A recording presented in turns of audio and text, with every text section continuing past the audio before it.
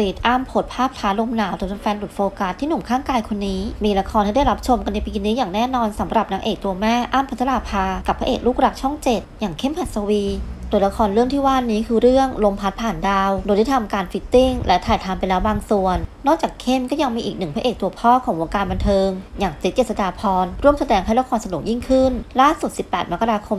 2566 อั้มได้โพสต์ภาพขณะที่อยู่บนดอยท้าลมหนาว และมีหนุ่มข้างกายเคียงข้างก็ไม่ใช่ใครที่ไหน คือรุ่นน้องอย่างเข้ม โดยโพสต์นี้ระบุแคปชั่นว่า เย็นจนไม่ต้องอาบน้ำแฟนๆรอติดตามละครเร็วๆนี้ได้ชมแน่นอนจ้าขอขอบคุณภาพอั้มพัชราภาเข้มหัสวี ภาพแหล่งข้อมูลข่าว ทีมงานทีนี่ .com ค่ะ ฝากกดไลค์กดแชร์กด Subscribe กดกระดิ่งกันด้วยนะคะ